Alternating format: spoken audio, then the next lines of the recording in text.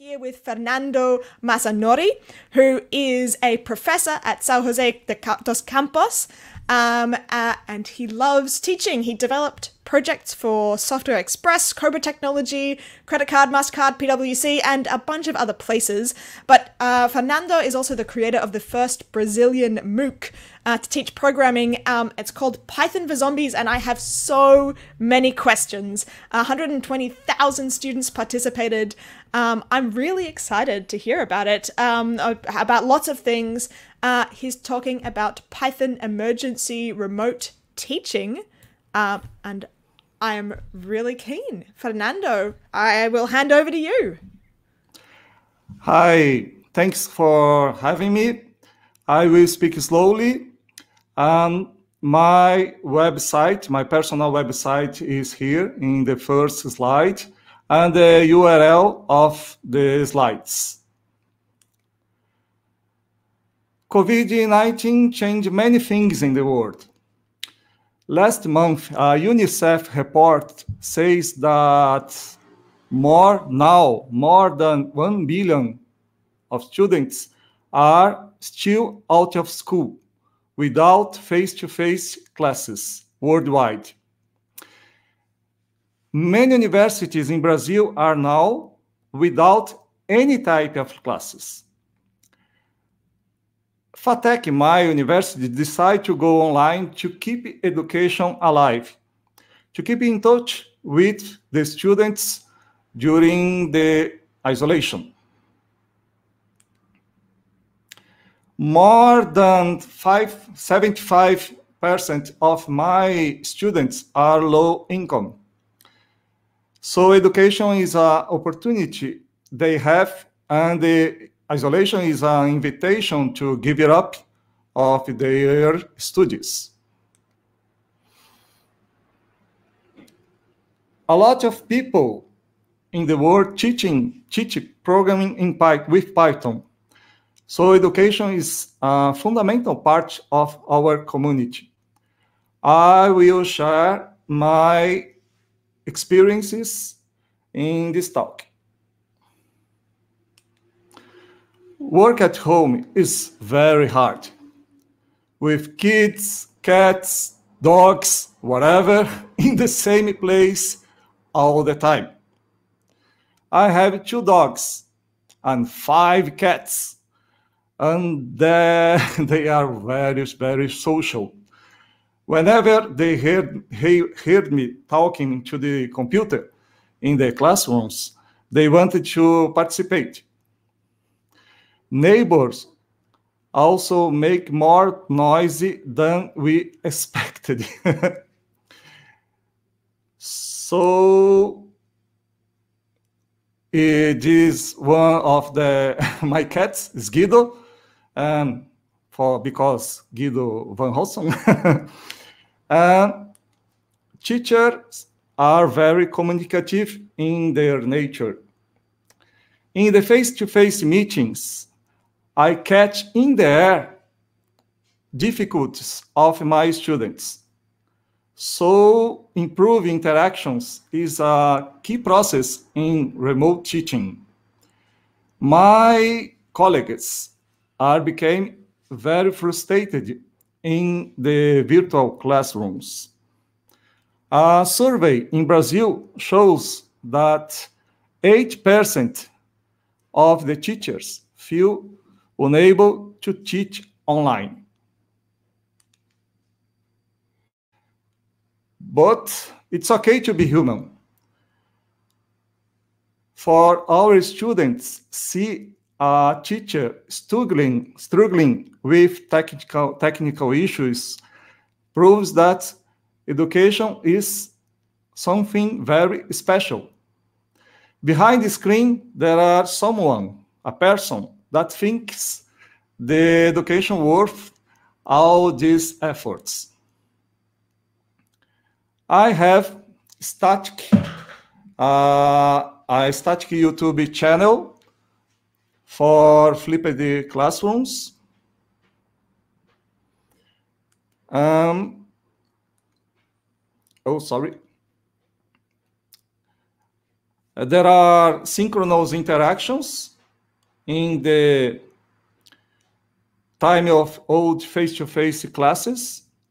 So I am a bridge between the content, content of the lessons and the learning process. Of course, there are so many materials on the web.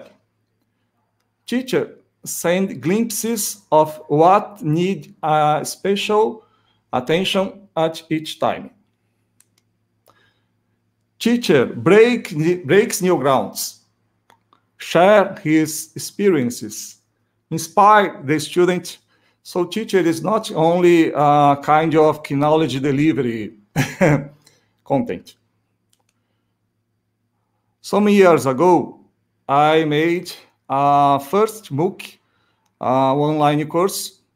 Now, in the COVID-19, I recorded a new version of the all videos with new playlists, uh, data structures, public data analysis.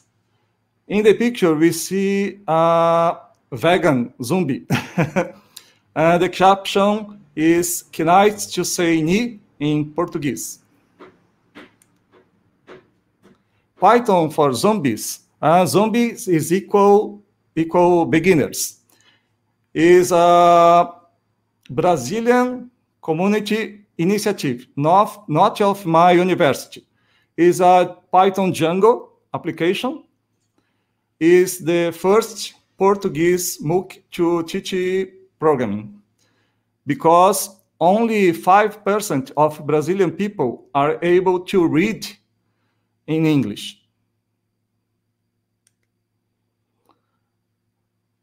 Some students prefer a single, simple YouTube playlists. Others choose a regular website with more order in the content. Our videos are very short, four minutes long. A lot of students use cell phones to see the videos, so it's important to use big fonts. I have a Blue Yeti to record the audio, the most important thing in online classes. Uh, sorry, is my cat.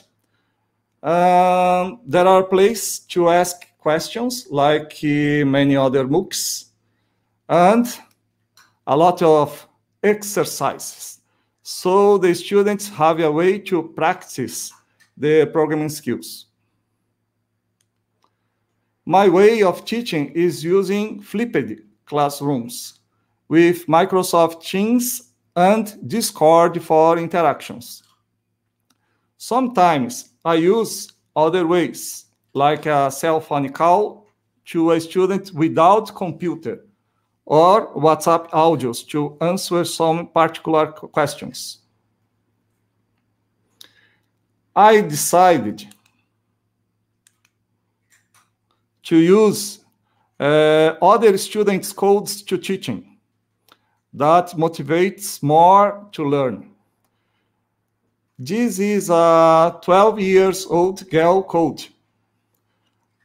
I also teach to kids in my city besides university lessons. This is another 12 years old girl code. And this time is using Unicode in Python 3 to cipher a message in Chinese with funny. Hitchhiker's Guide, Galaxies Guide is a very popular book in Brazil in the world. For students, fun is the best way to learn and play attention. 42 is always the answer. Even using Python libraries. Uh, in this example, there are only 42. Sorry. 42 is always the answer because um, a funny way to teach what is free software is changing the code of random.py. because the, the library is open to everyone to change the code. Teach object-oriented class concepts like inheritance or overloading is also fun with Fortran. Um, there is a class in Fortran, and I overloaded the dunder add and Dunderester because in the right side, uh, you see um, A plus B is 42. is also, um, I teach some meta programming, um, Fibonacci and factorial of 666 is very hu huge number, but with uh, 42 tricks is um, small. the core definition of a language is his abstract syntax tree. I change hello world response uh, at the function for 42. Glimpses of interesting things to students study in the future. Conclusion. The students have a lot of distraction at home, like a message from a crush in a dating app. so at home, short videos works well. Record the synchronous interactions are fine to late review. My exams have completely changed, changed, are now a new way to fix concepts, to learn more. In introduction to programming, 90% of my students concludes the course, which is very good. And the Python community are also in Brazil using uh, not only in Brazil, at Africa também, Angola, some countries with Portuguese language are using my YouTube channel uh, now with uh, 70,000 uh, inscriptions and 2 million views is a large number. The website that have independent videos have 4,000 new inscriptions in the last uh, three months. All the news makes me very happy. Don't forget, keep education alive. Thank you. Thank you so much, Fernando. That was fantastic. It was really interesting to see some of the differences between the education uh, that that I am used to and that that we see across regional areas in Australia as well, and, and compare it to something that that's um, quite different. There were some fantastic uh, chat in the um, in the Streamyard. No, it, sorry, in the Venueless uh, chat. Um, I didn't quite grab any much. Oh, here we go. We've got some questions. Bring the questions out. Come on, folks. Um, Thank you. So, uh, Shrey. Oh yes, I, I, meant to say before you you mentioned when we were chatting earlier that um, the applause that you got when the last time you were presenting was was loud and oral. Um, At uh, Python, there are recorded claps. recorded claps, fantastic. We don't have that, I'm afraid, but I I would like to introduce you to a little bit of Australian culture, which is Auslan um, Australian oh. Sign Language. This is clapping in Australian Sign Language. So please just assume that the entire stream of people watching are all applauding like this. But you can't see their videos, so just just take it from me. Thank you. Um, uh, Shrey uh, was interested in uh, how you deal with plagiarism and online exams. Uh, if you want to talk to that. Impossible. It's impossible. Teaching is the in the soul of the students. but I, I changed the, my exams to uh, some analytic questions, not questions with direct answers. It's a change I made. I guess that would help quite a lot. Um, but it is it is definitely a challenge, and I know it's a challenge that um, isn't only uh, isn't only in a, a distributed uh, MOOC or, or post COVID problem, but it's definitely a problem at school as well. Um, uh, I'm just double checking the stream to see if there were any other questions that came in. Um, there's a lot of juggling as well. There's a lot of juggling. Uh, I was interested in in why perhaps I missed it. Why you called it um, Python for zombies? Ah, zombies is equal beginners because there are a course Rails for zombies, and I take the name. Fair, yeah, yeah. That Yes. that works really well, I guess. um, was there anything that you found a lot easier than you expected in in putting the MOOC out? Oh, uh, uh, I I think um, not easy. uh, I think there are some hard facts because um, at the isolation, uh, mental health is is very hard. In, in, so uh, I need to talk for personal questions with my students.